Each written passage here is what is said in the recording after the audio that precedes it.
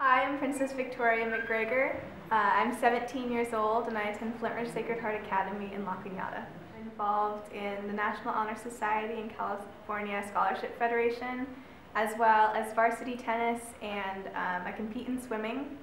And I'm the president of the Science and Environment Club at my school.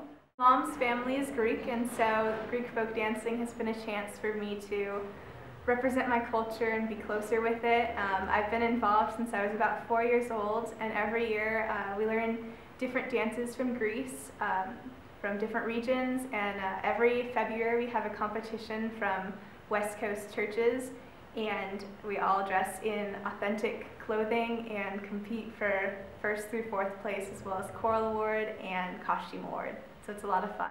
My ultimate dream job would be something mixing my passions, such as environmental science and art, together. I'm not sure what exactly that could be, but maybe environmental design or environmental architecture, because um, both of those things would make me happy later in life.